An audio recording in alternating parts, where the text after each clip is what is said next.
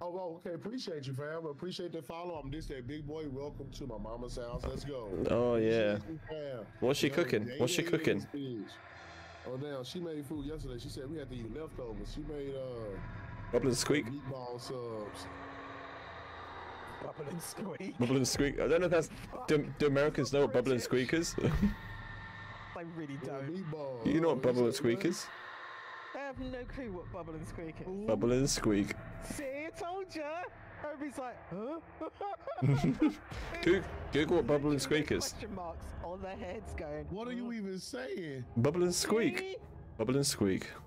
See? Man, you gotta type that shit. That shit sound crazy. No.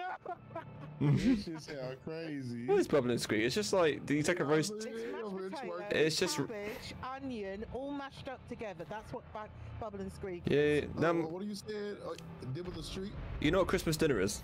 Like for- like Thanksgiving dinner or whatever. I know what It's just like is, yeah. after, like the day after, my mum would just take the meal and just make it into bubble and squeak, but she just like mash it together and microwave it. I don't fucking know. Okay. So it's like everything deliciously I, put d- together. I don't know why it's called bubble and squeak.